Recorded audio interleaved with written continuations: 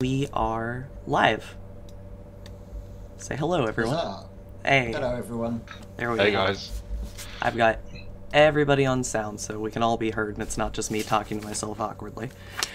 So, thank you for joining us today. Uh, we are playing our way through the Dungeon of the Mad Mage, a journey into Undermountain. Uh, it's a long, sprawling sort of situation, so it'll be interesting to see how these three get along. Uh, to introduce our players to start with, just so we know who we're working with, I'm Katie, the DM. Uh, down below me on my screen, I have Rob. I think you're next. Hello, I'm Rob. I'm playing Lefagi. Uh, Leo, if you want to go. Yeah, So I'm Leo. I'm playing Lentaurus.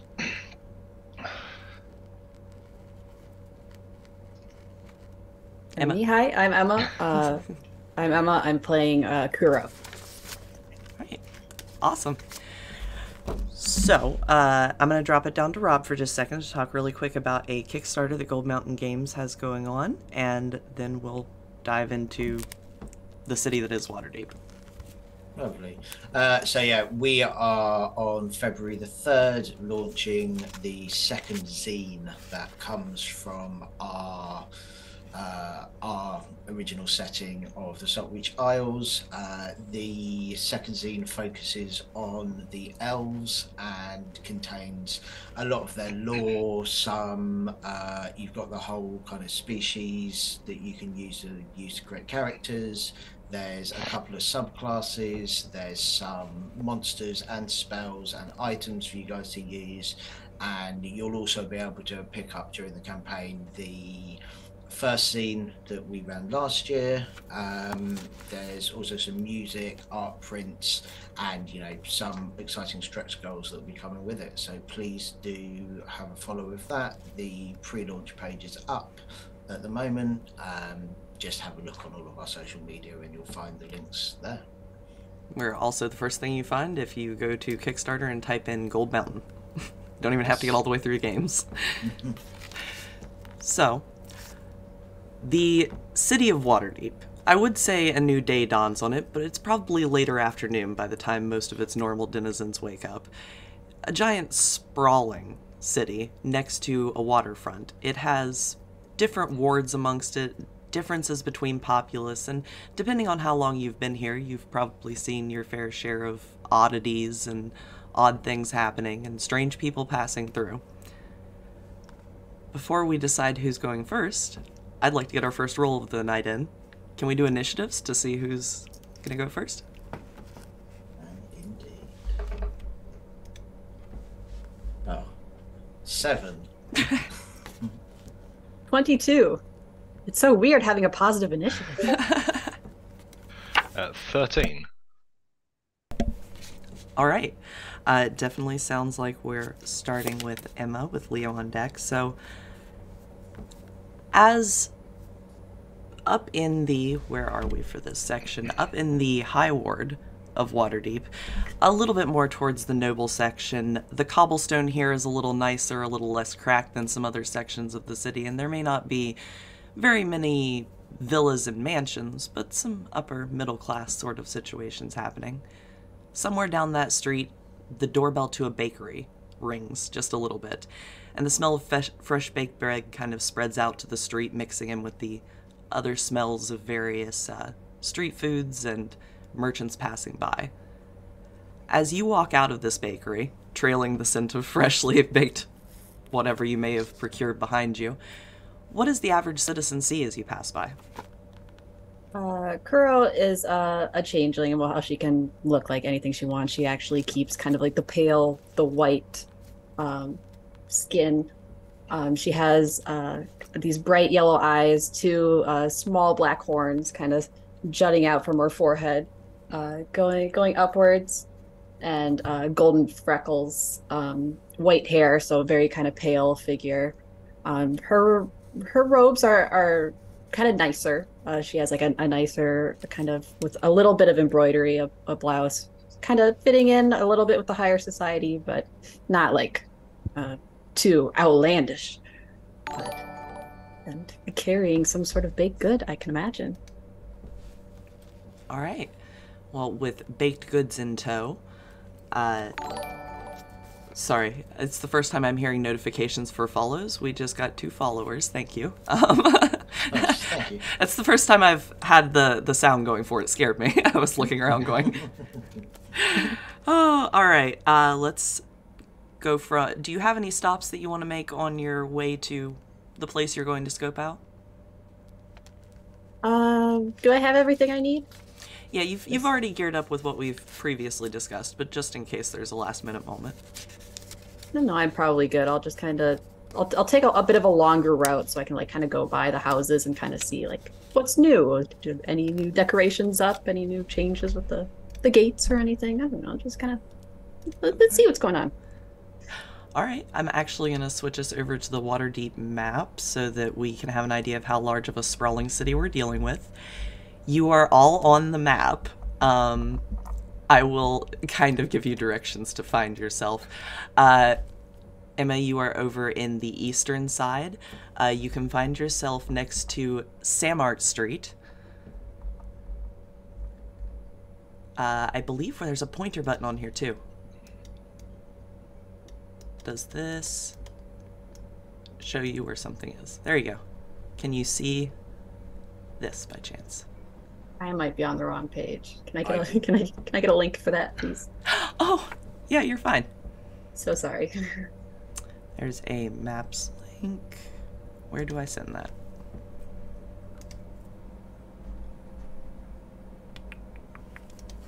I still have the Slack up. Sure, gotcha. I did not, so give me just one moment. So confused. I'm like, the Forbidden City. This is wrong. this isn't the right map. We've already been here. You don't want to. You don't want to go just hang out in Chult while everyone Oh, else is I in Waterdeep. But yeah, there is. Uh, got it. Link I there. see. We're using. Uh, this is a good time to mention. We're using the alpha version of D and D Beyond's maps for this instead of our usual Roll Twenty. So, little bit of a learning process for everybody. I could see the pointer when you were using it, by the way. Amazing. Yeah, so could I. Right. Well, whenever Emma is able Found to see it, you are right over Golden here. Serpent Street or San Sandmart. Mhm. I'm somewhere over there. Yeah, that's fine. You'll be heading towards the south. Uh, it is a green token on the board if anybody needs to try to find it. That being said, uh, with a 13 in the initiative, Leo, you are up in the high northern side of things, up in the very, very corner, and I see you've already found yourself. Uh, that is the Sea Ward, and uh, if you need to know for future reference, that is where the Sated Satyr is actually in the game. Wonderful. So, uh, as you are up there in a little bit saltier of a region of Waterdeep, it smells a little more like the sea. Everything around you is just a little more. Well, let, let me put it this way: there, are, instead of people uh, saying nicely that they have jewels or things that they want you to look at, there's somebody somewhere down the street from you yelling about dock nuggets for sale. Whether or not you know what those are, they don't sound great. But as you head out of the tavern or wherever it is you may have been uh, having yourself for the earlier part of the morning, the outer area of this part of town is uh, filled with a, a stranger variety of people. A lot of the influx from sea comes in here. You see various street urchins dashing by, as well as uh, an individual that's wearing sort of a barrel that has been painted with the words "The end is nigh." Uh, seems to be yelling something a little ways down the street. What do everyone, including the man with the barrel, see as you exit this uh, establishment? Uh, so, as I exit, they would see a satyr. I have long, kind of twisting horns going backwards, which are heavily kind of modified with gold, silver, jewelry. Um, they would see moss kind of coloured tunic, button over um, tunic with red and kind of dark red and gold, but it's very tarnished, kind of goldish colours. shoulder pauldrons, and I give off a. I look like a performer. I look like someone that you that is going to come up and have a conversation, or is going to a gather like stand on a street corner and say the world is nigh because of this reason, and kind of tell us tell a story and a, and a reason as to why. All right. If, it, if you don't bring the guy in the barrel with you as our adoptive NPC, it might be sad. Are there Oh are there any stops you would like to make on your way to the far south from you end of Waterdeep? Yeah, I'm going to stop in on the smiling siren. I'm going to say bye to some of the patrons there and let the land the the landlord of the, of the tavern know that I'm going to be away for a while before I then head on into where I'm going. All right. He uh, agrees to uh, re-rent your room to you if it's still open when you get back, but you might have to switch if he's already changed it out for somebody else. Yeah, that's fine. All right. Well, as you all head uh, down this direction, somebody is already very close by, as we can tell. uh, that's where it is in game. So, as you, Rob, uh, make your way out of a door in the alleyway, the smell of iron kind of follows you just a little bit as you trail out, little speckles of red just getting off the edge of your coat as you head out. You round a corner and make your way into the castle ward, a decent part of the city, still in the middle middle class range, not quite as upper as the high end, but you can hear that there are the sounds of celebration around you. You're definitely near most of the feast halls and celebration corners and places of company and drinking. What does the average citizen see as you make your way around the corner? They see somebody who is walking and dressed as a noble. There is no. They know that someone, you know, I walk down the street like I am important. I am wearing deep black robes with red trims. The clothes I'm wearing are of such fine make that most people who walk past me couldn't ever even dream of affording them. But saying that, I am quiet. I am direct. I am not looking around. I am I am heading straight to where I want to go.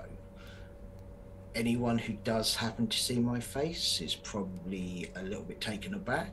I am very pale, gaunt. I have kind of very sort of sunken cheeks, and there are scars, old scars, all over my face. They are in patterns. They look like they were done intentionally. Anyone who happens to catch a bit of my skin on my arms would see similar kind of scarring. I am. I, I am a bit of an enigma. I, as I said, I look like I I belong here, but I'm also I'm not. I'm as very direct, very kind of just on my way. All right. Well, uh, as you are the closer one, we're just gonna let you get there uh, first. But as a general description, since we're all kind of vaguely headed to the same place, the Yawning Portal is a historical spot in Waterdeep. If most of you have been here for even a little while, you've heard of it. It's pretty infamous. An adventurer went down a hole in the ground some decades ago, came back with this huge load of treasure, and built a tavern on top of the hole that he went down. And now he sells tickets to go down. It's oddly popular, enjoyable drinking spot. You get to see survivors coming up out of uh, what is a large pit in the middle of the tavern. The tavern itself is this large circular wooden structure with what appears to be three floors. As you enter, you can see that the first floor is mostly taken up by a bar, a few small tables, and a yawning portal in the middle of the floor, similar to an oversized well with a winch and bucket system attached next to it. A large bar across the back, which you can see is manned by an individual with kind of closely cropped hair, but almost to chin length. Uh, with kind of this sort of large, bushier black mustache, seemingly slinging drinks and not really paying attention to a whole lot that's going on. The walls appear to be covered in knickknacks. Like if there was a singing bass available in this day and age, they would have one on the wall. There are two flights above you that are uh, balcony rows that appear to go up, kind of circling the wall. And inside, you can see that there's only a few uh, drinkers at this current time, early afternoon. And from what you can see, the bucket is still up. You expect nobody's down there currently. Looks like a kind of a quiet off season day. Vargi will enter, give a quick kind of look around the room, and then walk up to the bar. All right. As you enter, there's uh, what appears to be the owner, proprietor, barkeep, possibly. Fairly well dressed. Uh, you note a lot of expense, but not flamboyance. Well stitched clothes, well stitched apron. Uh, just appears to be cleaning a cup as you come in. He raises an eyebrow at you and sees that you're a lone individual. What can I get for you? I will have uh, some brandy. All right. Begins to pour you a glass of brandy. Are you just gonna sit and sip and observe? Not quite, I don't think. So, if if I was looking to go down into the uh, dungeon below, and I was looking for companions, do I just wait,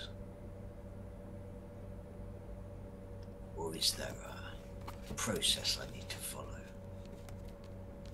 Well, I mean, if you don't have any friends that'll go down with you and you need to find someone, yeah, you could wait nearby.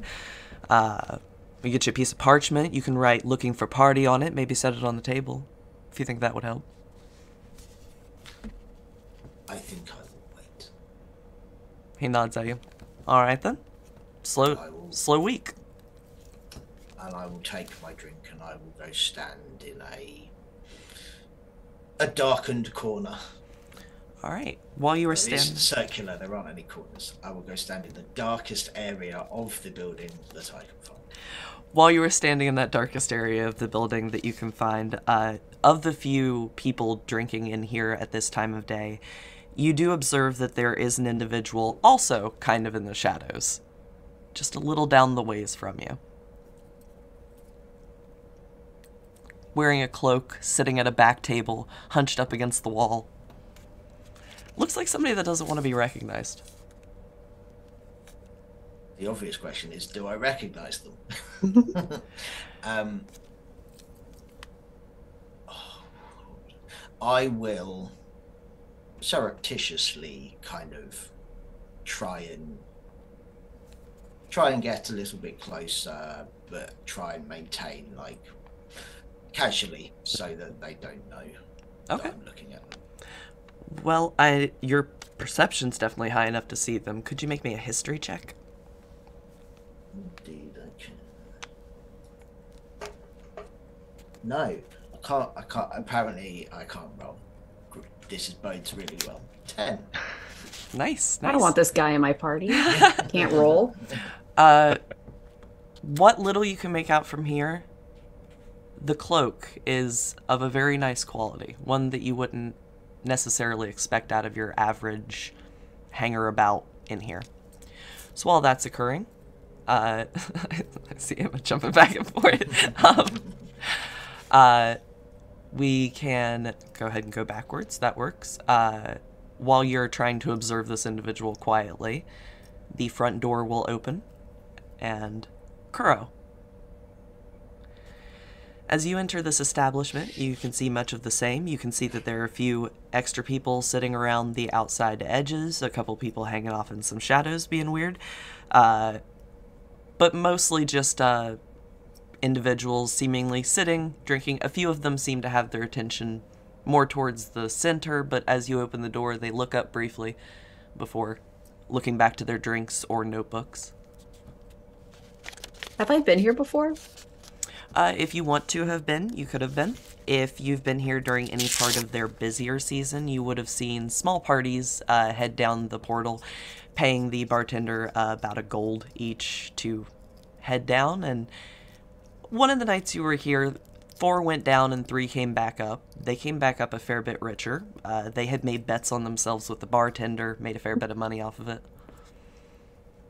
Is I'm gonna, like look around at the walls. Are there like I don't know what to call it, like a scoreboard, or here's who's in the dungeon right now, or Uh, you don't see any scoreboard, but looking at the uh, kind of knickknacks that seem to cover these walls, they all have tiny little plaques on them that read an adventurer's name and how many days they were in the dungeon when they recovered it. Okay, The one that you're looking at currently is a mounted finger. It's got an extra joint on the end and it's actively wiggling. It's severed. It's not attached to anything, but it's wiggling. It's God, a- it's Vecna. it says uh it says troll finger underneath the description. I'm gonna kind of look around, see if anyone's looking at me. I'm gonna touch it. Currently nobody's paying you a vast amount of Of attention. course you are. Uh, I'm gonna touch it. you touch it, it tries to touch you back. Whoa. Okay. what what seems to be like the longest, the biggest number on here? Uh, looking at it, there's uh, everything ranging from a couple of weeks, a couple of days. Uh, in one case, you see one that says two years marked out. All right, I was, was gonna note that down for a, a score to beat, but I don't know if I want to be down there two years, so I'll just make a little mental note of that. And You get the feeling that depth might have a little bit more importance in what you come up with than uh, days down there, because you could just hang out in the first room for two years if you really That's felt true. inclined. that guy was probably a coward. Uh, uh, yeah, but it doesn't look like anyone else is like gonna go down. Uh, I'll go over and look into the portal. I'll lean over and look at it, see what's going on down there. uh, Just go over and push it.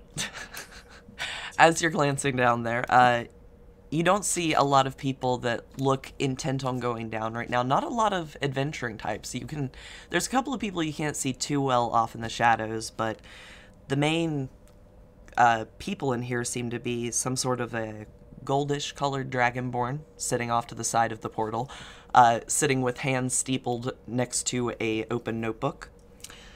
Uh, there is off in the corner a bard that is playing a three stringed harp. And uh, there is a rather flamboyant looking gentleman standing near the, uh, not near the portal itself, but off to the side of it, one foot sort of Captain Morgan posed up on the table. uh, this flamboyant mustache, this poofy hat. Can you go ahead and make me a history check? I would love to.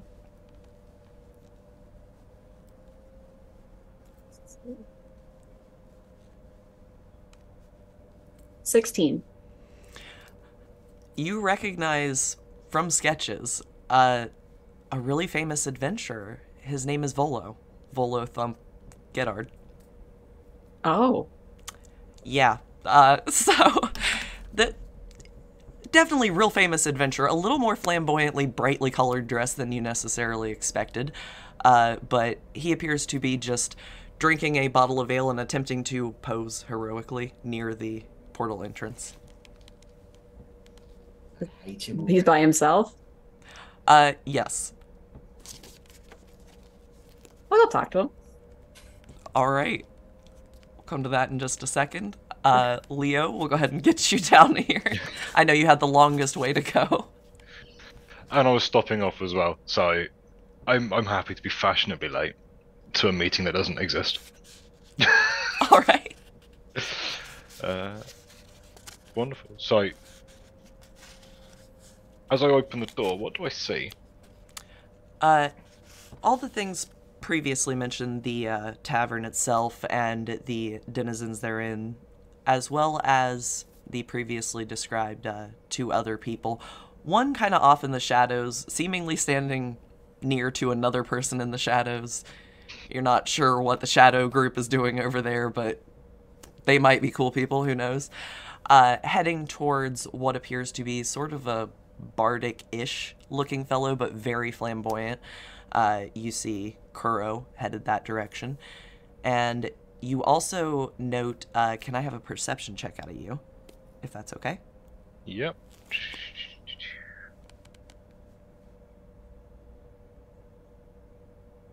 Twenty-two. Uh, yeah.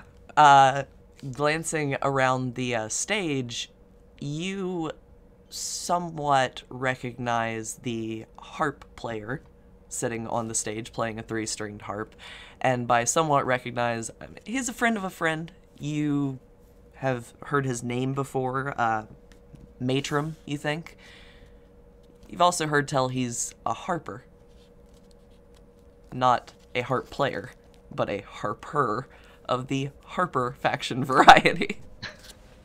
Which is confusing when he also plays a three string harp. Wonderful. I'm gonna go buy a drink at the bar, and then go and sit down by Mattrim. Okay. Uh, yeah, and then I'll start a conversation up with Mattrim. So it's whether or not you want to carry on with Kuro and Volo, and then come back to me. I'm happy either way. Sure thing. Uh, yeah, you sit down and wait for him to finish his current set. He's on uh, something about a dragon burning down a village. Should be done in just a second. And Kuro, uh, as you go to approach him, he you, you see the gut suck in a little bit as he stands up a little bit straighter. There's just a stop. grin. And kind of like point. I'm like, oh my gods, are are you? He bows deeply and says, The one and only, of course. It's a most splendiferous occasion to have brought you into my light. It's good to see you. How are you? Who are you? Are you going down? Are you an adventurer? Brave? True? Just thinking about it. I mean, I, was, I don't really have anything else going on today. But uh, are are you going in? Have? I assume you've you've been you've conquered this already. I'm I'm sure. He glances towards it. I've been, but conquered? Hardly. I've not heard of anyone conquering it. Oh well. Do you think you'll give it another try? Is it- Oh, I'm I'm retired now. I it's been a long time since I adventured. It was very rough out there on the road for a gentleman in his silver years. I, I see. I see. Um, any any tips you would give for a, a, a fresh adventurer? Can I hear this conversation? Uh, you can hear Volo's part definitely. It's loud, it's flamboyant, and there's arm waving accompanying it. he uh, says, "Oh, perhaps I could have some information. Uh, I've heard rumors of something that might be down there. If that could assist you." Take anything I can get. Well, in that case, do you know the history of this wonderful dungeon? Do I know the history of this wonderful dungeon? Uh, that is up to you. Have you tried to look into it? Uh, maybe just like what she's heard, like people talking about it. Probably wouldn't have done any research. That's like wizard stuff. You've heard a lot of We crazy stuff. He uh says, "Well, long before uh the Mad Mage moved in and made it a dungeon, there was an ancient elven city before Waterdeep was built. Here. And uh they had this lovely throne made out of uh alabaster or ivory, something white. I do believe it was. They created it, uh got into a bit of a fight with the dwarves that used to live under there dwarves uh, stole it because they were afraid of the elves. Right underneath their slender little noses, just tiptoed their way out. Elves haven't seen it since. Elves are still very upset. You know, they can remember most of them were there. So, uh, if you were looking for friendship from some elves, You could certainly. Find, find the chair that no one's. How how long ago did this happen? Oh, couple hundred years or so. Got it, got it. So, sorry if I'm misunderstanding, but your your advice to the fresh new adventurer is to find an artifact that hasn't been seen in 200 years. Well, if you don't shoot for the moon, how will you land among the stars? So I suppose you're right. I should uh, stay optimistic. Um, Health uh, potions. I'll, I'll remember that. Health potions. Yes, Health that's- potions That's are a, the that's good. Yes. That's good uh, advice. I, I've, I've stocked up on on those, but uh, Lefvargi is going to have walked slightly closer as he's had one side of this conversation. And he's. He's probably about six or seven feet away, quite clearly looking at Kuro and standing behind Volo because he does not want a conversation with Volo. All right. Can I tell that you are trying to avoid Volo? I mean, Uh, Or are you staring at me weirdly, I suppose? Are you being weird about it or are you being chill? I mean, you're being stared at by a man in incredibly intricate robes with scars all over his face. I think you probably recognize, you probably realize. Okay, so uh, Kuro, well, she's like looking at Volo, and then she'll kind of uh, switch her, her view over to you. Like, you seem like you've seen some adventure. Any any tips that you could give a, a, a newer adventurer? You are, you are going down into the dungeon. I haven't made up my mind yet, but I have need of others to accompany me. Are you any good? I mean, I don't mean to offend, but just the, the the amount of scars tends to show you've been hit a few times. These are not uh, scars of defense. I see. I am a talented lockpicker, trap finder. Me too. We run into traps, we'll make quite a pair. If you can be useful to me down there, it will be good to find others who wish to go down. Well, uh, when I'm not lock picking and uh, trap dismantling, I am known to do the occasional healing spell to be useful. You will see him like turn his nose up a bit and like sneer when you mention healing. Do not uh, do not think that I need the wounds of my flesh healed. DM, do I have to join this party? literally not a requirement. Um, while while while you're busy being creeped out, let's take a second.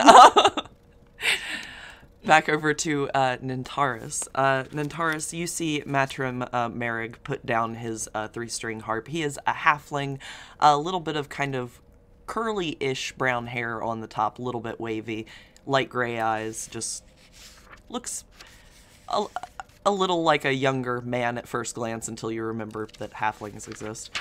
But uh, he hops down off of his stool and down off the stage and gives you a nod as he heads down. Matron, matron, matron, buddy old pal. Question query. Have you been down there? Been down, down in the. Yeah. No, I'm not insane. Do you want to go down there? For what? Oh, adventure, stories to sing. Come on. You're awfully good with that harp. We could write some more stories together. Me and you adventuring down there. He kind of cocks his head at you, looks sideways. I don't know so much about that. See, I'm actually here uh, looking for someone to go down there for me. Because I don't want to make the trip either. What's in it for me? I'm happy to be insane. Hmm. Bag of gold for a delivery, and access to a safe house at the delivery point should you make it. Do I get the gold now or afterwards? Well, if you're going down the hole, I'll give you the gold on your way down if you want. Yeah, works for me. I was going down anyway. I need to find some other people to go down with. Obviously, not many people want to go down. Um, Yeah. but yeah, I can I can do a delivery for you. It's a slow season. Uh, listen, if you don't make it all the way down, just bring the package back up with you. It's no big deal. Uh, we're just trying to get somebody down there to drop it off. A little bit of a favor owed. You understand how it goes. Uh, it's, uh, So, yes. what what? Who's down there that you want to give it to? How long have they been down there? Uh, see, that's a bit of the rub. They're not, uh, they're not down in the dungeon proper, but you should run into them if you're, uh, down deep enough. Have you ever heard of, uh, Skullport? Have I heard of Skullport? Would you like No. to make a history check? I'll make a history check.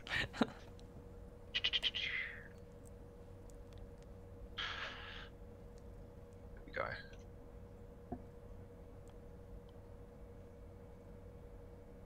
Hmm, 16.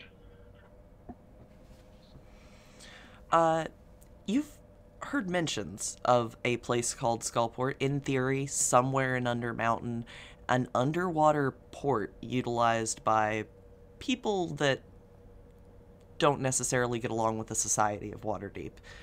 Uh, possibly doing things that don't get along with societal laws whatsoever. But, uh, Mattis says, well, there's a Harper Safe House down there uh, for people trying to get out of trouble that they've gotten themselves into while down there. It's uh, also a connection to the outside world if you need a quick way back up. Yeah, that that you know what that sounds like a jolly good idea. So how about I take the parcel uh, and the money. You write some wonderful story about how amazing and, and great I am at doing this delivery for you, and I will go and go off and find other people to help. All right, but you got to bring me back some stories of what's down there. We haven't heard anything fresh in a while. Most of the last five groups haven't gotten past the third. When I come back, we can go to the Smiling Siren, and I will regale you and the audience with my stories. I look forward to it. Do me a favor and survive until then. Uh, no guarantees, but I'll try. He hands you a small brown paper wrapped parcel and a bag of what appears to be about 50 gold. Sweet. Uh, right, let me add that into things. Uh, I'll take it off of him. I will smile and then look around for other people and let him get on with his day. Alright. Uh, looking around the room, you see, as I mentioned before, that uh, one golden dragonborn woman kind of hanging out by herself, hands steepled. She appears to be watching a scene just across the way as uh, Kuro appears to be not talking to so much as being talked at by Volo, who is gesticulating wildly, and there is a more shadowed cloaked individual kind of watching all of them talk from another corner. It, it just looks like a little bit of a strange scene over there.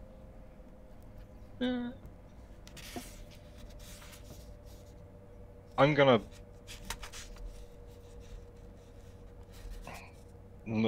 I do I recognize Volo?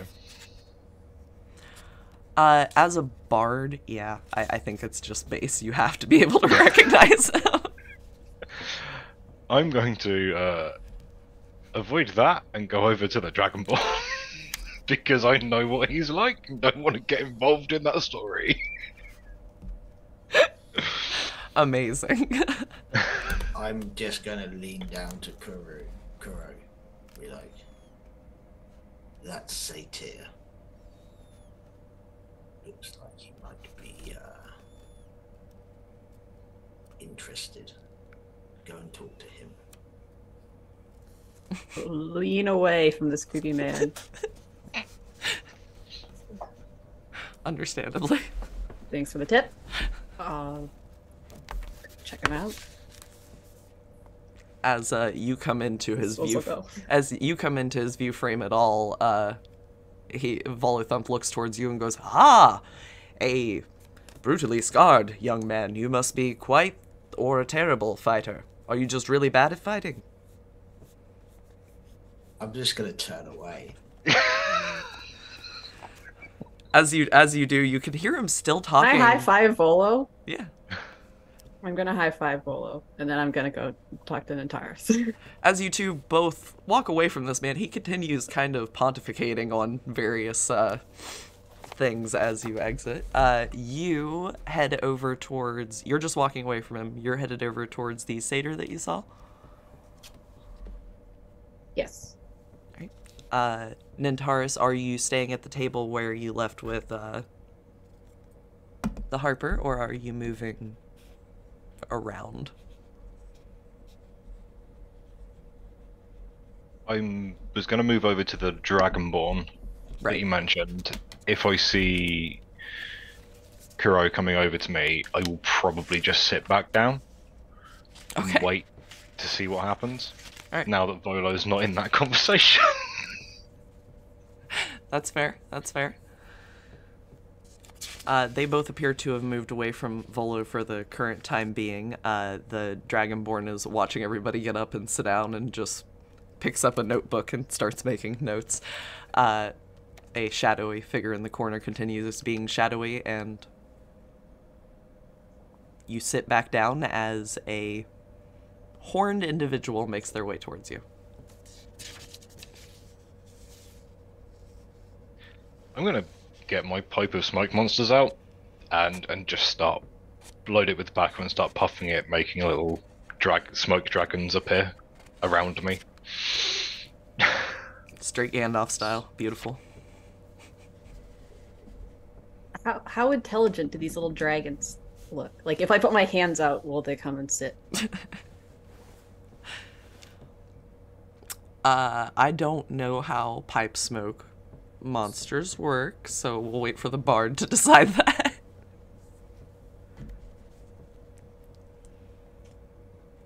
While smoking this pipe, you can use an action to exhale a puff of smoke that takes the form of a single creature, such as a dragon, a flumph, or a froggy froghemoth.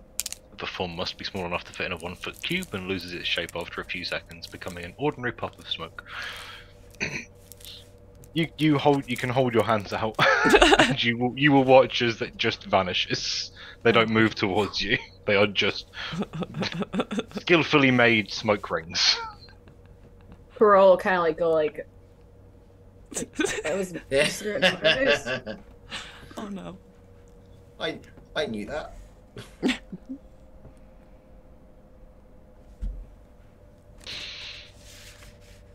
It's uh, quite a fancy trick you got there. Uh, it keeps me entertained. Do you do just dragons or I, whatever I- suits the mood or Well, whatever suits the mood. Sometimes I like to have, uh, make a froghemoths, you know, the big, the really big frogs, but small because they have to be kind of small. It's a da- only downside of the pipe is I'd like it to be able to make huge creatures. Unfortunately, uh, it's not that kind of item. Still, it's entertaining, and the kids love it. I'm sure the kids do. And with the right backlighting, it casts a really big shadow, which you know, in my business is is all there for the kind of the theatrics of it. What kind of business is that? But entertaining. What brings an entertainer to the yawning portal? Just looking for a gig? Oh, there's some things I need to investigate. Uh, primarily down there, and he points towards the yawning portal. Anything especially interesting? Well, have you heard the rumors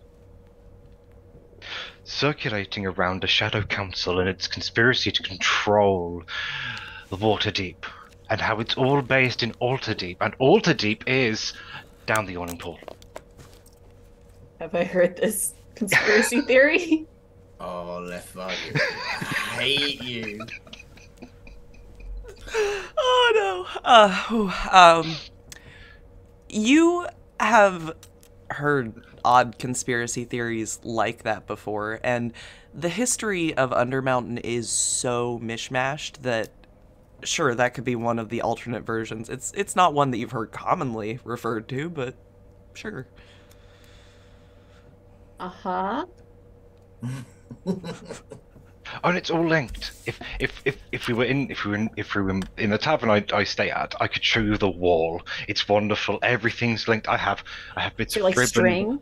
Yes, yes, bits of string and paper. Uh, there's there's a whole group of us. Uh, we all work together. Uh, we're getting we're getting some traction uh, on the various. You various have like a, things. a name, like a code name for your group. Yes, we do. Uh, let me breathe. Let me check my memory. um, Le- walks out of the yawning portal, out of Waterdeep, Mhm. and gets as far away from Okay. this person as he can get. Okay, you want to roll a new character or what? uh, I mean, while that's happening, if you wanted to check out anyone else, there's I still the shadowy figure that you were kind of trailing. if Volo is trying to engage me in what he thinks is a conversation, I'm going to make a beeline for anyone else. Okay. Uh, so I will I will head over to this shadowy figure and kind of may, may I? As you, uh, the figure kind of holds out a hand, motioning for you to sit down, pushes the hood back just a little bit. Uh, with the hood back, you can make another history check if you'd like, and not roll a nine. Right, third roll of the night. Is it going to be rubbish? Twenty-one. Awesome. Uh, you do recognize her, uh, because you've, not that you've been to many of your family's parties or events or things like that, but definitely the type of person that would have been invited and not the type of person you would expect to be sitting in the yawning portal. Uh, Esvele Rosznar. She's a noble daughter of a family with a history not incomparable to yours. Sorry, what was her first name? Uh, Esvele. E E S V E L E. It is unexpected to see you here as well. She nods a bit. Protecting the family name, unfortunately. Are you intending to delve into the dungeon? No, looking for someone who did. My idiot brother. Crescendo went down last week. He hasn't been heard from, and frankly, I'm worried he's up to something that could be more damage than our reputation needs at this point. I am. I am seeking to go down for my own reasons, but uh, I was seeking others to join me as uh, fodder. If if you are seeking people to go down, then and you can pay, maybe you could encourage uh, others over there who are intending to go down. I think to uh, join me, and we will search for your brother while we are down there. That could work for me. Uh, I don't know that he's still alive, to be honest with you, with as long as he's been down there. So, him, word of him, if you can find his signet ring, just proof that he has met a demise, even if, you know, just whatever you can find for me. I could do the sum of 300 gold for you upon that return. Uh, I I need not the money, but I will. Uh, I am sure that that money will uh, entice others to join me, and I understand that what you want us to find. Give Indeed. Me, give me a few moments, Thank you. and I I will stand up and head. I will stand up and head straight towards Kuro. Okay. Uh, currently talking with a satyr, blowing smoke monsters. I will just like interrupt. Don't care what they're talking. Mid conspiracy explanation, just. um, you and if you are interested too, 150 gold to come down with me each. On return, if we uh, find evidence of a uh, a noble who has gone down there. You're not gonna gonna ask like for a resume or like any qualifications. You're just like you and you. Let's go. Do you see anyone else in here who is willing to go down into the portal? Well, I haven't talked to everyone yet. I, it's only my second stop. If you wish to spend time looking for other people, then there is 300 gold as a payment for whoever accompanies me down there, and we have to find signs of this note. If you find other people, we will get less money each. I do not care. I am looking for those to come down with me because I have a job I need to do. I will I will leave you to your conversations, and I'll walk back off. Okay. Okay. Poor. Well, as I was saying, Amazing. I was just gonna say this isn't even like weird for you. Random people just breaking into the middle of your conspiracy, being like, "Listen, here's this thing," and then leaving, and you being like, "Okay, great." Anyway, I don't even know who that guy was. It doesn't matter. so weird, weird bad fighter aside, the the group we call ourselves the curators. We curate all of the knowledge. There's a lot of knowledge the others don't want you to know, like the Lords of Waterdeep. They don't want you to know it, and they try and stop you from knowing it, like Elminster and Elminster's secret, like there's a bard and how he's his shadow council that are running it all. They run it from Altar Deep, like I said, and Altar Deep you can only get to if you find the if you find the entrance in the Undermountain, which is why I need to go to the Undermountain to find it. So, you are going down there. Yes. I don't remember what my question was that started this. I'm quite honest. But I think that was it. I think it might have been. Are you going down? Do you want to come down with me? Shh. I mean, you, seem seem more pleasant company than I'll nod after Mr. 300 Gold. Yes, he's weird. I'm weird. He seems very dour. It just doesn't. If I'm looking for like a good fun time, you know, he just doesn't Did, did you like it. I'm a cook? I can entertain you with stories and cook you good meals. I, I love a good meal. You have won my heart, sir. The question is, do we want 300 gold? Because if we find the if we find the thing and come back and kill him, we would have all 300 gold. And he wants Are to we go assuming down. 300 is. But is there more? He just already took his part out because he said 300 for us, right? 150 each. So does that mean there's like 450? And then if we just. Then there's more for us to split? Not that I would do such a thing, but just like thinking. I- I- Just just thinking out just loud. like imagining, like, just like writing stories, you know?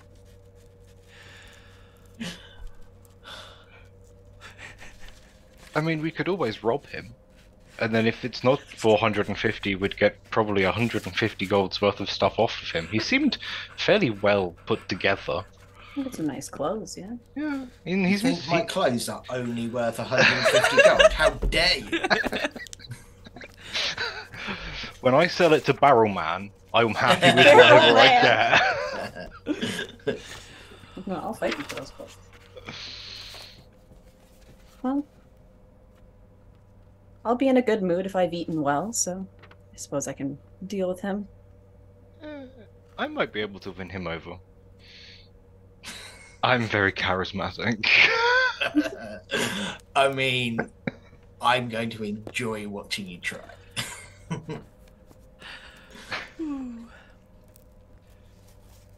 Do you have enough supplies to go down there right now?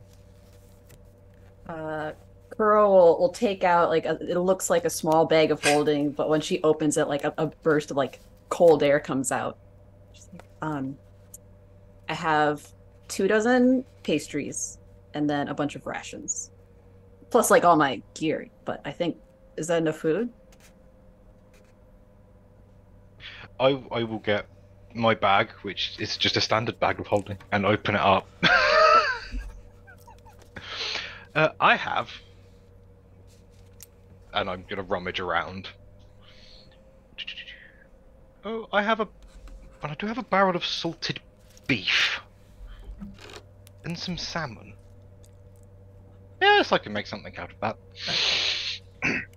Okay, okay. Um, Um, Also, Jet- what's your name? uh, Kuro. Kuro. Nantaris at your service. Lovely to meet you. Do we go back to the weird man, or do we just wait for him to come back here? He didn't really say what he wanted to do. He just kind of walked away. Did he just return to the shadow that we saw? We found him in. Um, he yes, he's returned and sat back at the table with um, the lady whose name I've already forgotten. Esvele. Esvele So he's- Razar. He's returned to the uh, table and um, sat down and. It is unusual for people to turn down money. I think, I think we will have a deal shortly. They just need to talk. She nods. I appreciate it. I'd hate for my brother's trouble to put our family name in jeopardy. talking about such things, it would be uh, beneficial and appreciated if you did not uh, div- divulge that you met me here. Oh, of course, you didn't meet me either. Of course. And I will then just lean back and sip, sip my drink, and wait for the others to decide that they want to uh, take the gold. All right. Well, while you sit back and consider that, you two are having that conversation. You've got the tavern. I mean, in theory, there are definitely mercenary guilds. Like, you could hire somebody if you wanted to go out of your way. But that's losing money or instead of gaining money. It's true. You do have to pay the people that either carry your stuff or fight for you. I can carry my own stuff and fight for me. I don't need that. I just need the guy with the money. All right. Go get him, Tiger. Win him over. Okay. I'm gonna walk over to the table. As you Uh, do, Lethvargi will stand up. You will also notice, which hasn't been said before, at his hip he has a cat and nine tails with metal.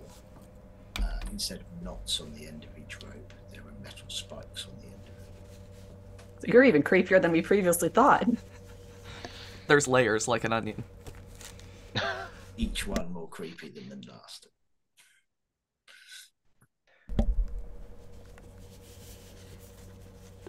I'm gonna. I am I right to assume that there, because Lethvargi sat at the table with this person. Am I right to assume that there's more seats at that table than two? Mhm. Yeah, you could easily sit down if you wanted to. Wonderful. I'm just gonna li- like bold as brass. Just go over, pull a chair out, sit down. Okay. So Lethvargi has stood up as you approach, and you've just come and sat down, and he will look down at you. You uh, do not ask to join a table. It's a tavern. It's not not a fine dining establishment. It's a tavern. I'm a bard. This is a seat.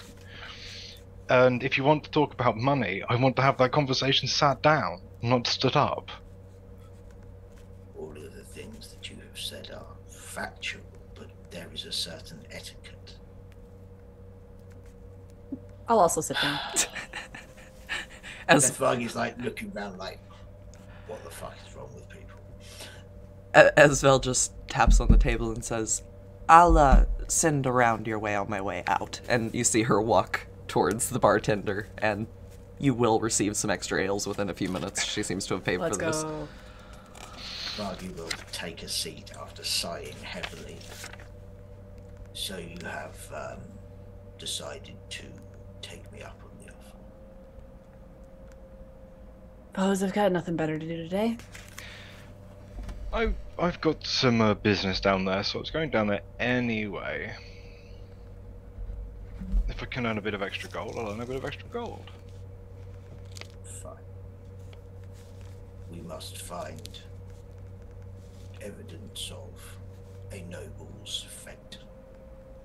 There will be a reward or return if we have information. Do we have a description of this noble? Any I'm identifying assuming features? I know what he looks like. Uh, you you know of the family, and you know that unless he's been physically separated from his hand, his signet ring will be recognizable to you as well. We will know him by his signet ring, and I have a passing knowledge of what he looks like. All right, we go in there. We ask everyone to see their hands. We get out. I like this plan. He has been down there for a week. Sounds like some people are down there for two years, so I. Maybe he's just getting started. I am uh, Lethvargi. Kuro. Nantaris. So we are to. Uh, you will, for this payment, be my entourage as we delve into the dungeon. No, I was thinking like co-worker, associate. Whatever Teammate. name you- whatever name makes you feel important. Would you mind if you were my entourage? As I said, whatever makes you feel important. I love having an entourage. I can't believe I'm a person who has an entourage now. You're very arrogant, aren't you? Looking at Lethvargi. You're noble. Your arrogance is noble. I am a man who knows his station. That didn't answer the question. It wasn't a question. You, it was a statement. Okay, I'll make it a question. Are you a noble? Well, I mean, look at the way this, he dresses, the way he talks. You really to ask? I am a member of one of the noble families of this city. Yes. I could have told you that for free, and with a lot of sass. Do you have any dietary requirements? I will not eat pickles. Good to know. But that's more of a preference than a, a requirement. And you, you watch as he pulls a, a notepad out and writes your name and no pickles next to it. Appreciate it. I am. I will eat any food that is of decent enough quality. I do not wish to eat rats or anything you may eat, but uh, food is food. No rats. Unless you can cook up a really good rat, I'll try anything once. If we find any, Not I'll see everything. what I Not can do. pickles. The question is, do we go down there now or do we get some supplies? We've already discussed our food. How much food do you have? I have come prepared for a uh, prolonged stay. I have a uh, duty I need to perform down there. Sounds very important. It is. I have.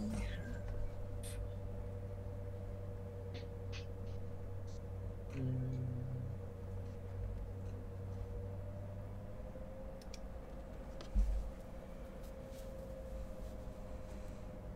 I have uh, five days of rations on me. Is that all? Five?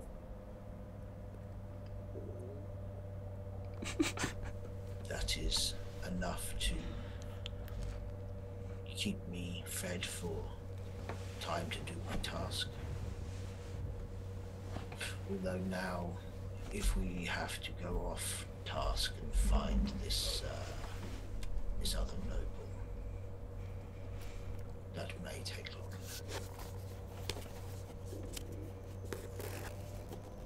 I am sure we can. I, I can send someone to pick us up more rations if needs be. You there, urchin boy. I nearly, I nearly clicked my. Find me a hat. Well, when your rations run out, I will start feeding you from my rations, and I'll charge you for it. I'm not giving you any of my food. I can pay for anything that needs to be paid for that ensures that my task is complete. Okay, that's that's very good to know. Uh, If you, however, intend to uh, fleece me, it will not end well for you. I will pay dependent on the quality of your food.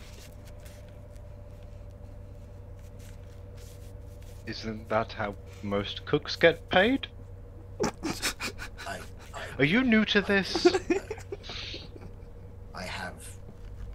I'm. I'm not sure you heard me when I said I am a, a member of one of the noble families of this city. It, what a cook gets paid is dealt with by my bursar. so you don't have experience with this. Okay, wonderful. I need to top up on a couple of things, but then I'm good to go down. You know what I think? We're all going to become the best of friends. I'd like to roll a persuasion on that. Please There feel is a free. There is a sneer on my face as he says that. 24.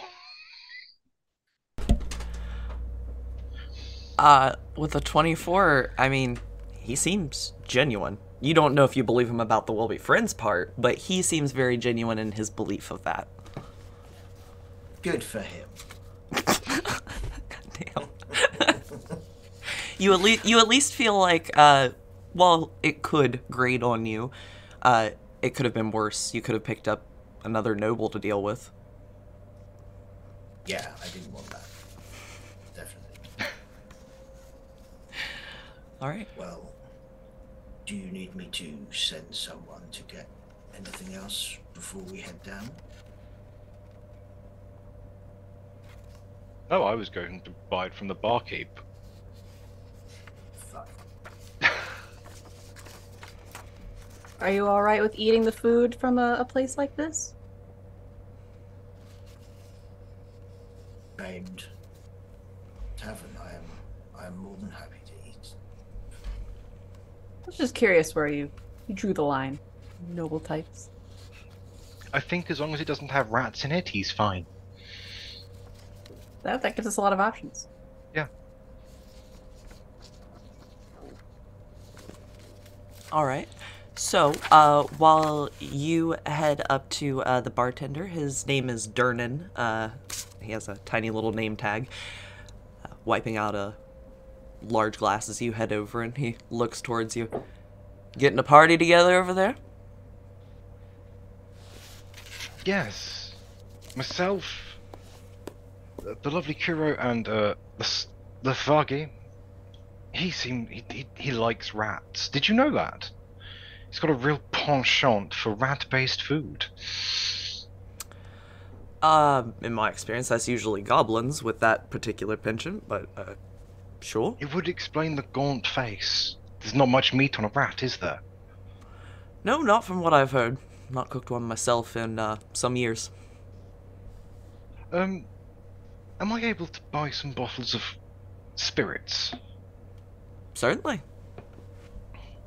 Is there any particular spirit you would enjoy? Uh, more of a dwarven whiskey, or are you more exotic? You need something elvish? Mm, Dwarven whiskey will be fine. I'm used to drinking it. Okay. Yeah. How much for a bottle? A bottle of basic dwarven whiskey. Uh, call it two silver.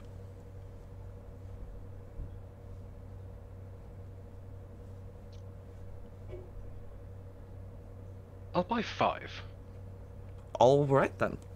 Leans down under the counter and picks out a few more of these, and you gain five bottles of the D and D equivalent of Fireball. Yes. This is gonna be fun. I'm gonna stow them into my bag and then head back over to the table. All right. Did you get anything you wanted uh, kept cold? I'll get out my, my bag again. Anything? My my bag's kind of special.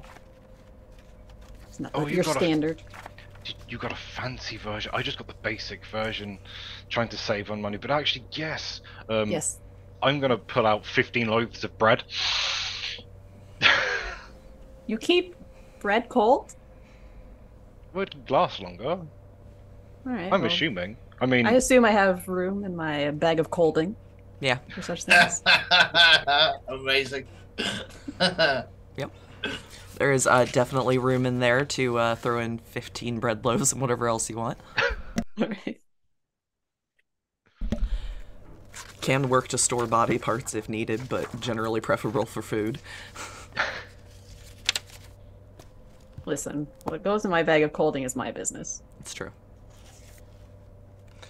So, as you all are getting your various things together, uh, the tavern itself appears to have gone back to its original state that you entered in. Uh, Volo is kind of just posing off by himself in a corner. It seems like he's trying to get somebody, anybody, to look at him so that he can make eye contact and then just descend upon them to tell them a story. But otherwise, I'd rather cut out my own eyes.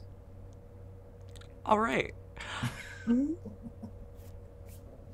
Well, all right then. Uh, besides that, the only person that you all haven't talked to in here is a gold dragonborn and a big ol' yawning black hole in the middle of the floor.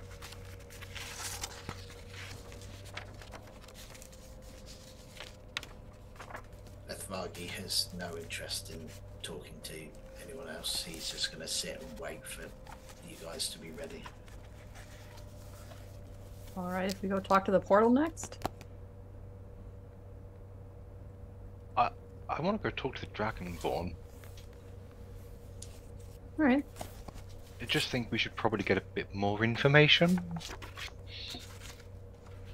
I mean, it's not like we've got we're wasting sunlight. It's all dark down there, I assume. What if it isn't? What if Orthodeep gives it a fake sun and a fake night, and then the sun and night cycle? How do we know our sun isn't fake? What if this is Orthodeep?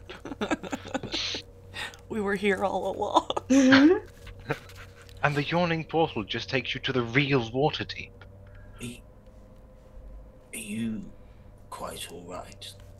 Yes, I'm, I wouldn't expect you of your ilk to understand these conversations, considering it's your nobility that hide all this kind of information.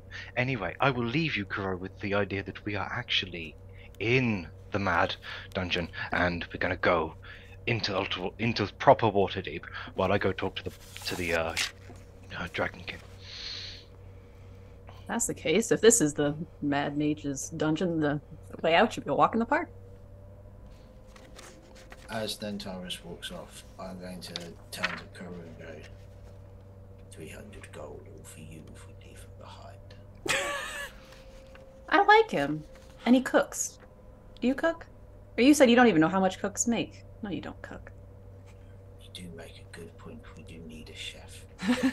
I'm considerably more grouchy when I haven't eaten good food, which would match your personality better, but I don't think I'd enjoy it. What is he talking about? I don't know, but it's fun, isn't it? If he is accusing me and my family of impropriety, I do not find that amusing. Well, if noble families have been accused of worse, aren't you used used to it? You kind of build a barrier against such things. It's just. I kind of assumed when you live at the top, people are always throwing rocks up there, right? A rock would not uh, bother my family. Well, it seems like that one did. You barely said anything, and you're already. hmm. Now, if there's going to be fighting amongst my entourage while we're down there, I'd prefer we got it settled up here. And when there isn't potentially like a gelatinous cube that might come join. So you really don't need that. My concern is that he seems uh, unstable. You see why I asked about asking him about his qualifications before I, offering him the 300 gold? Like, you were just ready to take, well, who you consider to be a crazy person. I think he's quite lovely.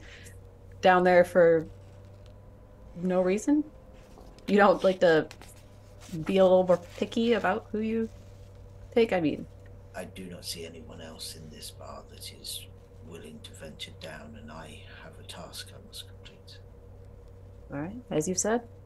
Fine. So I think I'm going to be pickier in my future entourages. Keep him. Uh, keep him on a leash. I see my job. I don't have a problem with him. You're the one with the whip. Crack the whip at him. So while that's being considered, um, as you approach uh, this Dragonborn, you can see that she's probably a little bit older of Dragonborn. You haven't seen like an age variation a lot in the few that you've seen, but the scales are dull around the edges. Uh, there's this long, drooping, almost Chinese dragon style uh, little things coming out of the front of her face, the little mustache. Uh, she has a collection of different uh, religious iconography hanging off of kind of a keychain situation hanging over her shoulder. It looks like at any given moment she could maybe pull up a god, any god you might need, just off of a holy symbol. Uh, but as you approach, she nods at you and closes the book that she was writing in. and says, "Good, good morning to you." Good morning. How are you doing? Oh, you know, slow day. Just uh, getting paid to sit here, I suppose. Getting paid to sit. What a wonderful idea. I've not been that lucky. Oh. What is it you do? Well, currently I find myself in the employ of a, well, a, a wizard. Up in the uh, nicer parts of Waterdeep, a very powerful wizard, and he wishes uh, some newer magical items to experiment with, so he sent me to plop down here and buy them off of whoever comes up out of there. What's this wizard's name? He does have a name. Hold on. uh, Wakanga O'tamu. And uh, my name is Obaya Uday.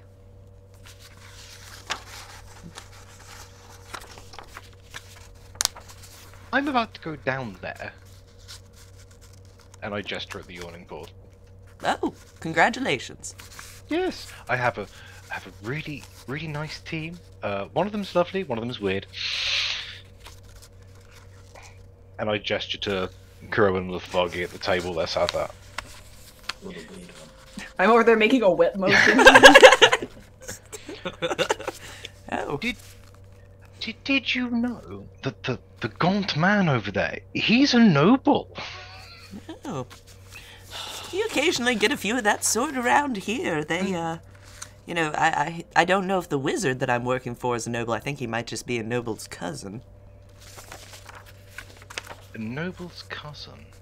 Um, and you said his name was Wakanga. Oh, uh, Kongo O'tamu. Uh, he's not in Waterdeep right now, though. A vacation house. A vac- he has a vacation house. In Port Nyanzaru. What what kind of artifacts does he want? I'd quite like to get to know him. And obviously, if I can t- arrive with a bundle of artifacts, it'll uh, obviously make him a bit more talkable.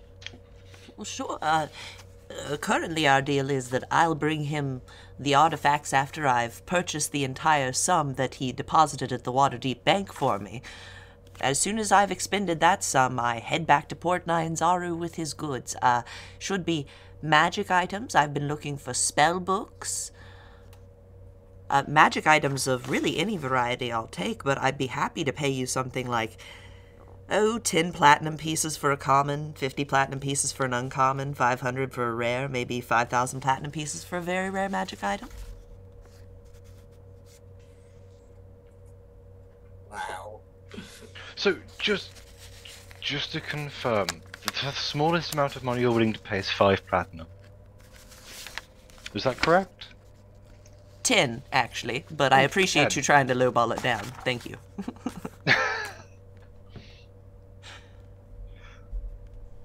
yeah, specifically items from down there. You see, he says they're close to a knot in the weave, so it does something. And I guess magical items from there have an extra flavor, spice. I, uh, he might eat them for all I know.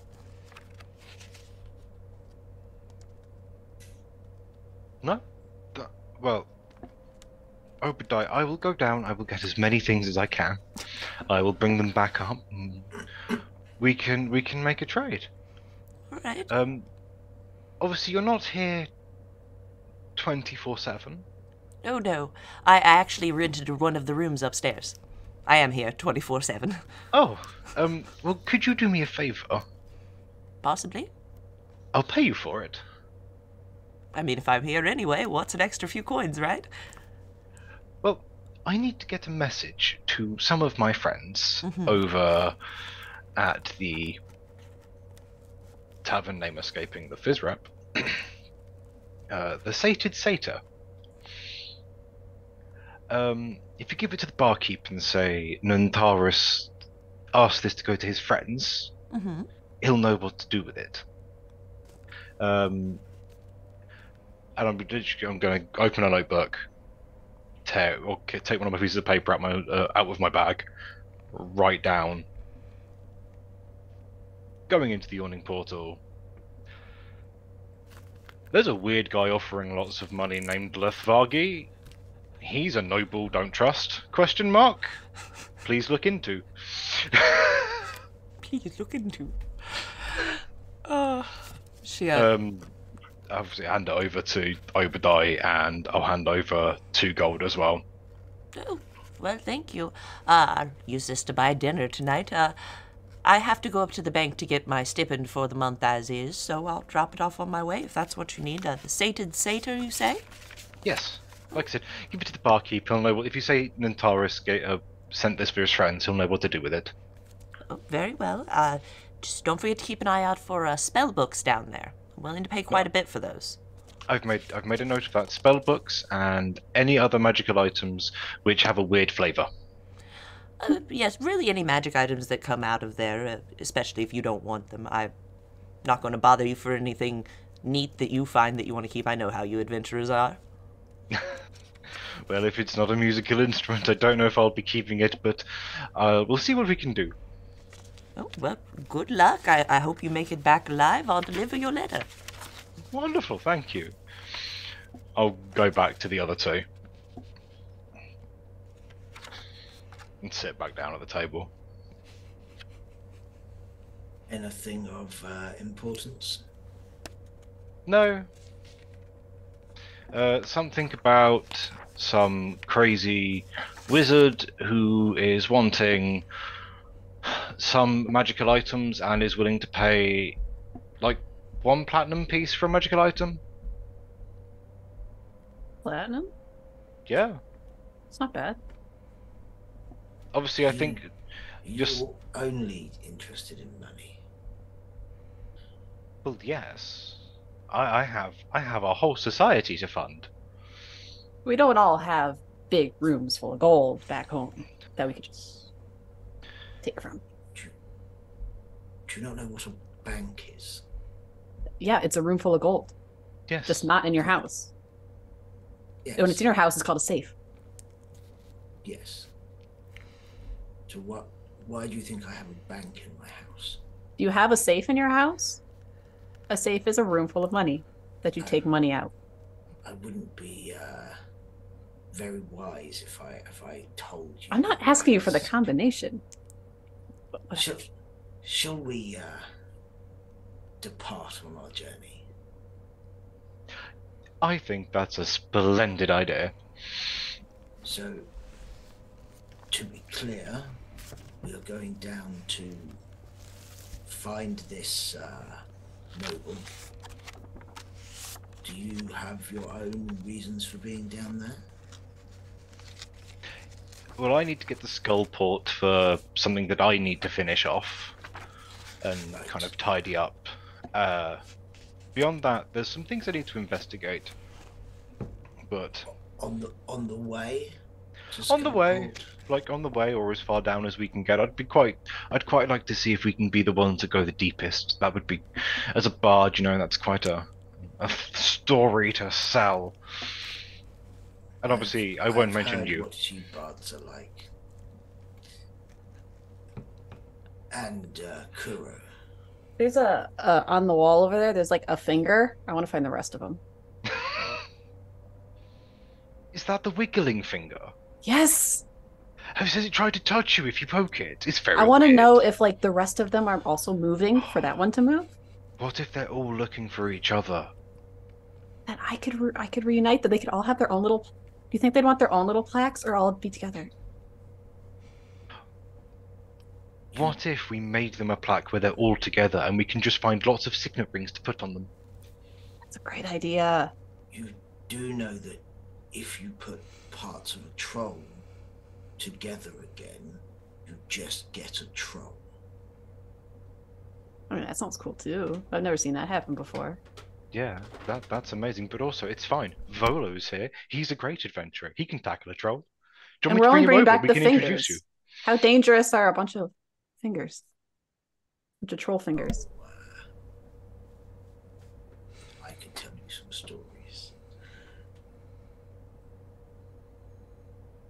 You probably could, but they wouldn't be as good as mine. But think how good of a story it'll be when we find all these fingers and we bring them back. Imagine. Do they count as magic items? Can we sell them? Because there's there's got to be some magic in those fingers if they're moving. What if we posted them platinum to someone we one. didn't like? We could post them piecemeal, like one finger, two oh. finger, a hand, an arm, and then when they'd get there, A horse head? Yeah, you'd Then end up with a horse-headed troll. That'd be so cool.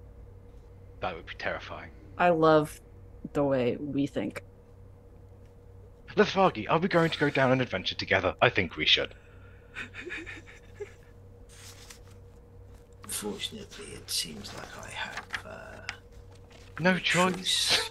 but to accept the hand that I have been dealt. Hand. Is We're it a just troll talking about hand? fingers. You know, if you put troll pieces together, you just get a troll. Did you know that? It's like a puzzle. A troll puzzle. Vargi is going to stand up and walk over to the healing portal. All right. He is done with your shit. Well, I'm. wh- while you're doing that, could I really quick get what everybody's passive perception and passive insight is? Passive I- perception for me is 16. Passive insight is also 16. Thank you. Uh, perception is 17, insight is 20. yeah, I got you. Perception is 14, insight is 16. Amazing. That's Thank a you. point. While these two have been jabbering nonsense at me, Mhm. have I noticed any kind of deceit or anything? Uh, none that you've noticed outright. You do have a really high uh, insight. Nantaris, could you roll me a? Uh, it's not persuasion. It's the other one. Check. Perception? Perception. Thank you. My brain just went goodbye. I'm leaving now. 23. So, uh, no, not as far as you've noticed. It seems like they're all pretty on the level, interested in money, maybe have something that they want to do down there, but who doesn't, apparently? I, I, I have walked over to the portal. Alright. As you head over that direction, Durnan looks out from across the bar and nods as he walks over that direction. Says, Going down in the off season, are we? We putting a bet down on ourselves? How do the bets work? Is it like that we come back, or like a time, like closest without going over? Uh, we can do it a couple of different ways. We've got a few different people that have been deeper than somebody else, a few that have been gone longer than somebody else, but we stopped doing that after the last guy hid in a closet for a month. Uh, also, you could do things like a most impressive magic item or monster part brought back up. Kind of just depends. Go on and say it. You want to bring out. You want to bring a troll troll bit back. You bring back nine troll bits. That's not a finger. Uh, well, welcome, then, then I bring it back ten. welcome to make bets on you all surviving or not surviving or really whatever you want. oh, bet on myself surviving. I think that's a good. How much would you like to put down? Do I? Would I know if there's any reason to have money down there? Uh, there are few and far between some reasons to have money. I'll put twenty-five gold on myself to come back. All right. Can I put gold on Nantaris not coming back? Sure. I'm not. I'm not really. Lethvargi is not putting a bet down on anything. Okay. Well, unless you have any other gold to place, that'll be three gold for the ride down. Each or total? Oh, one gold each, three total. Gotcha. I will. I will just walk over, take three gold out, and put it down. He moves over to this hand crank situation and moves the bucket over towards the side. It is an oversized wash basin that has been kind of tied in here to this crane system, but uh, it looks well used, stable. The Can I portal. swing it? Yes, uh, as you're in it, you can swing it. You will start to bounce against the walls. The portal itself Oh. does look like a uh, like a large well, but looking down as you near the bucket, it's just completely pitch black down there. You can maybe, if you stare at it for a long time, just make out maybe a sandy floor below you. Ready? Um, Ready? have Ready? torches. I don't know. Do you have torches? Pretty sure.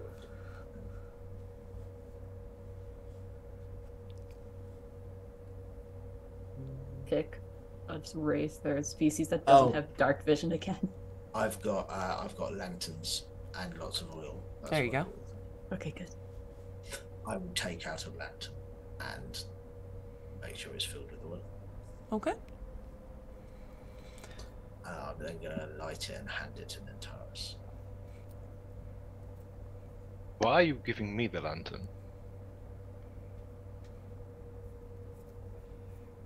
Oh, I'll hold it. I'll take it. So, as we load up in the bucket, uh, Durnan gives you all a nod and says, Good luck, and just starts moving this winch. And as he does so, the bucket jolts just a little bit and then starts slowly kind of swinging its way down. With the lantern on, you see briefly little bits of the stone wall as you go down. It takes a full minute to descend as it gets darker and darker, but the lantern shines on the spots on the wall, and you start to see deep gouges into the wall, bits of blood splatter, just a little bit of older chaos that has occurred somewhere in this tube at some point. Before That'd you be embarrassing to die on the way down. before you find yourselves in a small square room with a single hallway extending out from one direction. It appears to be largely empty except for 60 shields hanging on the wall surrounding you as you set down in the bucket.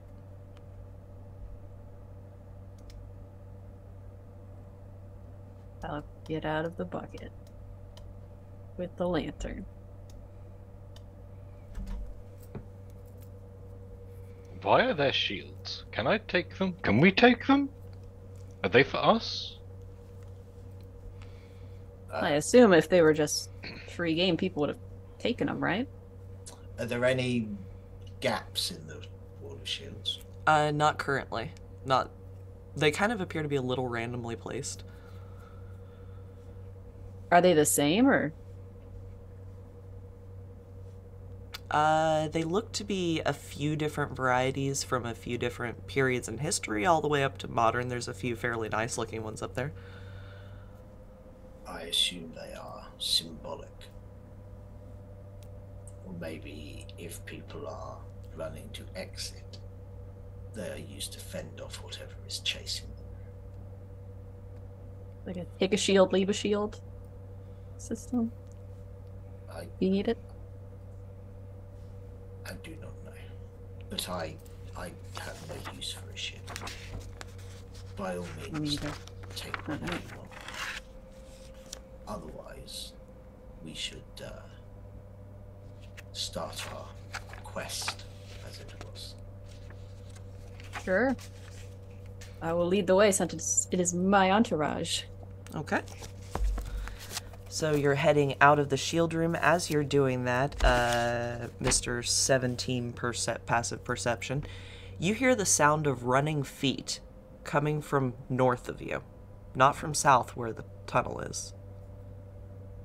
Sounds like somebody's running away from you. From right up here. How, hold, hang on. Did you hear? Did you hear that? Did I hear that? Uh, with your passive perception, maybe. You can also listen real hard, perhaps. Let's see here. And I will walk over to the corner. Uh, after he points it out, you can just catch it, Kuro. Uh, where he's pointing out in the corner, you just hear the last bit of footsteps echoing away. There was someone or something running.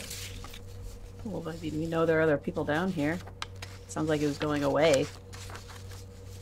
I wonder if there is a, uh, and I will look for signs of a hidden something in this corner. Sure thing. Uh, do you want to make an investigation check? Yes. No. That is a seven. Uh, you're having trouble determining it. The wall itself seems off to you, but you're not sure if it's because there's shields in the way or it just it just looks like a wall. But you know this is where you heard something behind, so you know common sense says to you there's got to be something there. But I, I cannot see any kind of mechanism, but I would assume there is something. I'll point the lantern at it okay. Uh, with the lantern in lantern, case it helps. with the lantern pointed at it, it's a little more apparent that there is a uh, a hole in the wall there, about this big, about at eye level. Did you look in there? Something knows we are down the, down here, and if you wish to put your eye to an unknown hole with an unknown thing behind it, be my guest. I can't just say stuff like that. Um, it's not how I want to do it. I will take a step back and no, no. I won't, because it'd be embarrassing to die in the first room. All right. I Really want to. I'm. Lith- Lithvargi, could you step to one side? I'd like to have a look. I will do so. Thank you. When I get there, I want to put my ear against the wall, Mhm. and I want to knock against it to see if I can get an idea of how thick the wall is. Sure. Uh, if you want to make an investigation or a perception check, your choice on that one. The investigation, because I'm investigating. Hmm, 19. Okay. Uh, listening to it, it sounds like maybe the thickness of like a house wall, uh, less than a foot thick. Well, it's not very thick. We could probably smash it through. I am. I am. I am loath to leave something that was spying on us to get to wherever it is going with that information. Also, It's been running for a hot second. It might be gone already. This is the main entrance where everybody goes, and no one has found this bit yet, we'd be the first ones to find it. And that is the good. That's a good start of a story. What do we think? Wh- what if this is nothing? What if everyone's already come and stuck their eye in there, and then they're like, "Oh, it's just a little, a little passageway, a little secret." When you loop around the dungeon, this is how you get back to the beginning. You know. Break down the wall if you want. I don't care. I suppose you've got to have horns for some reason. Me. I'm gonna look in the hole. All right. Go ahead and make me a perception check. Not a Dex saving throw. Disappointing. Eight. All right. Uh, it's mostly dark in the other room. You can see a hallway that extends and seems to take a turn, and what appears to be a broken crate scattered in it. There's a broken box in here. But there was allegedly footsteps. Not anymore. Do we want to investigate the weird and wonderful, not gonna kill you if you look through it IHOP? Maybe we should just keep going. Like, is this? But this this is how adventures and stories are made. Are we gonna stop and look at every hole? And this this place is huge. There's got to be so many holes. We could get one platinum for any magic item we find. Now, for some of us, There's a broken You- box in there. they could have something in. Taurus, if you wish to go that way, it is you who is going to open it. Okay. Kuro, could you step to the side, please? Yeah. I'm gonna Eldritch Blast the, the wall. All right.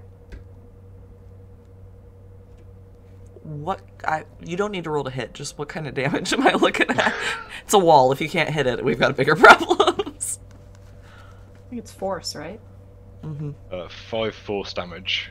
Okay. Uh, you see, you kind of aim for that little hole uh, that's in the middle of the wall, and you watch as cracks radiate out around it, but the wall is still standing. I shall do it again. It's I know it's only because I know it's only about a foot thick. Yeah. It's got hit points. That's 11 force damage. All right. Uh, the first Eldritch Blast, a little bit ineffectual. Y'all watch it spider crack and move out. But the second one, you hear this resounding sort of crunch, sort of almost cave in sound for a second as the now apparently doorway in front of you is uh, demolished loudly. We we never asked if there was like rules for down here. Like, are we not supposed to break anything? Are we gonna get like charged when we go back up for any damages? It's fine. Lethvargi can pay the bill. He said he's got lots of money. You're right. You're so right. Sighs and looks through the doorway. Who who wants to go first? Not me. All right. Okay. I already looked down there. as you all head down that section of passageway, uh, you can see that it's appears to be a branching set of hallways. You can see a little bit of what appears to be definitely some recent type activity. a lot of footprints in the dust, a little bit of scattering maybe scraps of food down through here. Looks like somebody was maybe on watch and eating right behind this door. A lot of crumbs. Is there any indication of which way they went at this junction? Uh, you can make a survival or a perception check to try to see if you can spot which set of footprints in the dust is newer, if you want. Well, because apparently I can't roll dice anymore. It's just gone. Why did we bring this guy?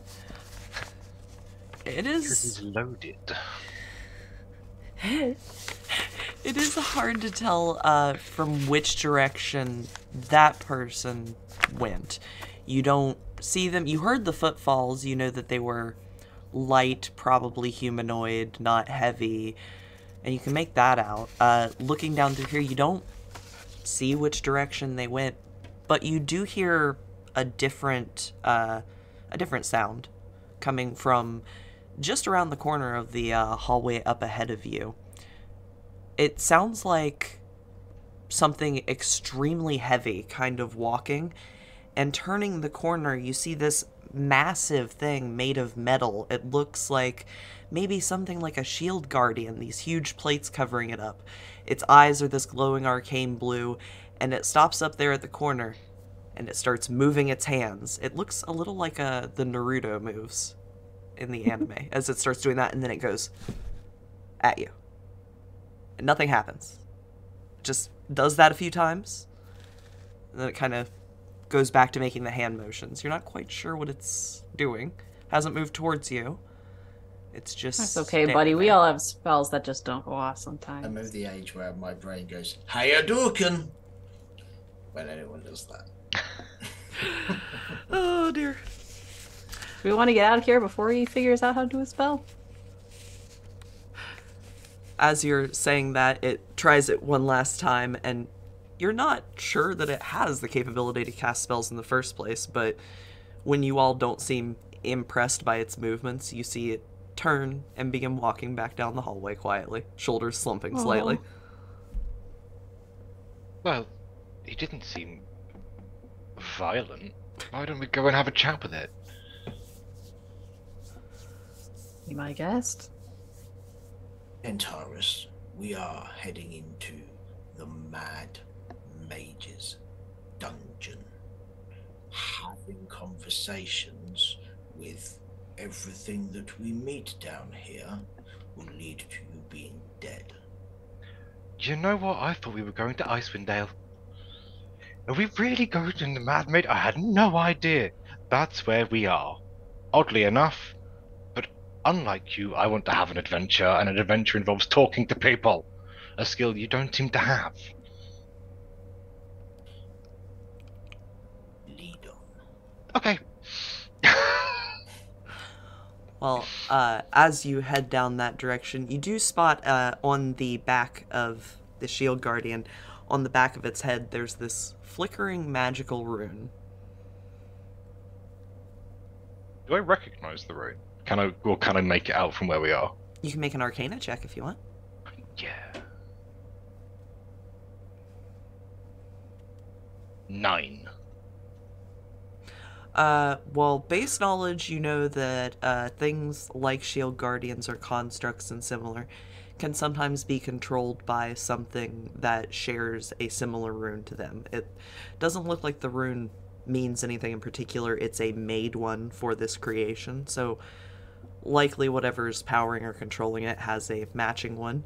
Uh, you've never seen one act like it was trying to cast spells. That did seem unusual. And you've never seen the flickering of the rune. It's always just been a steady glow. That is curious. So as we ponder on flickering runes and uh, giant metal men, it's probably a good place to stop for tonight, Yeah. as it is 5:18, so it's only 10 minutes off. Not too bad. It only Yeah. took us how long to finally get into the portal? Almost two hours. Oh, I, think that- I think that's not bad. Speed run. Nothing wrong with it. I was ready for you all to run around Waterdeep if you wanted to. These pie dynamics are going to be amazing. Yeah. Can we make a rule that if Rob's character dies, he has to make one that's not an asshole? I'm not an asshole. I'm just very direct. Okay. It's a very thin line. Well, Oh my gosh. Well, uh, thank you for joining us. Uh, if you have a free minute, feel free to go and check out the Kickstarter that Rob mentioned at the start of this. Uh, we should be live again here next week. We'll determine the time to make sure. But anybody else? Anything? Am I forgetting that was anything massively important? No, I uh, that was that was a lot of fun. Ah, I, uh, yeah. yeah. All right. It's gonna be good to see how we all get on or don't. We'll all be the best of friends. We'll, we'll kill each other before anything can kill us.